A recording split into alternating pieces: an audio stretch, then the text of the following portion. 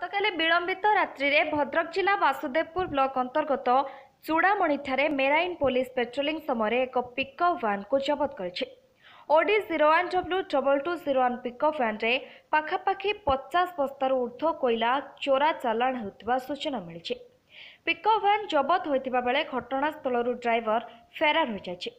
ପ୍ରତ୍ୟେକ ଦିନ ଧାମରାରୁ ଶହ ଶହ ଟନ୍ ଅଷ୍ଟ୍ରେଲିଆ କୋଇଲା ଚୋରା ଗାଡ଼ିଗୁଡ଼ିକରେ ବାହାର ରାଜ୍ୟକୁ ଚାଲାଣ ହେଉଥିବା ବେଳେ ପୋଲିସ ଏ ସମ୍ପର୍କରେ ଟେର୍ ପାଉନଥିବାରୁ ପେଟ୍ରୋଲିଂକୁ ଅଧିକ କଡ଼ାକଡ଼ି କରିବାକୁ ସାଧାରଣରେ ଦାବି ହେଉଛି। ଭଦ୍ରକରୁ ରମେଶ ପାଗଳଙ୍କ ରିପୋର୍ଟ ଅଭୟ ନ୍ୟୁଜ୍।